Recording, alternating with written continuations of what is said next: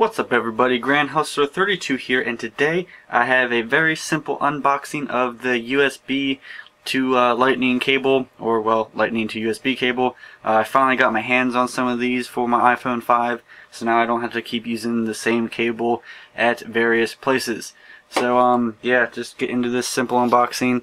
I already used uh, my X-Acto knife to uh, cut open the top here because it is quite a pain in the ass and oh my god, it's so awesome, isn't this? You get oh man, that's nothing in the box. You get who cares cable. Oh my god, it's so amazing. Uh, I got two of them. Oh my god, look, it's so awesome. You can like slide it into your phone. Ah, boom, awesome. Woo, so cool.